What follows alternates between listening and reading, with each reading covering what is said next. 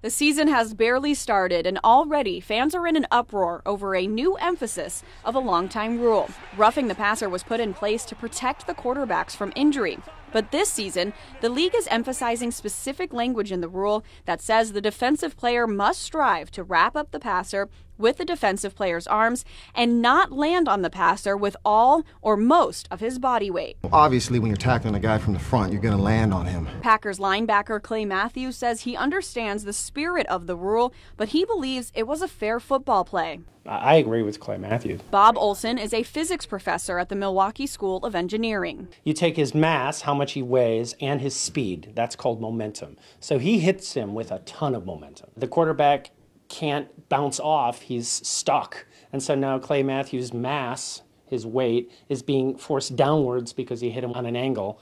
And so now the quarterback has to fall backwards at the same angle. Olson says from his point of view, he doesn't think Matthews could have done anything different. I guess somewhere out there, someone's going to say he could have turned as he was hitting him. I, I don't think so. He was basically almost in midair as he hit him. So once you're in midair, you can't change the direction you're hitting.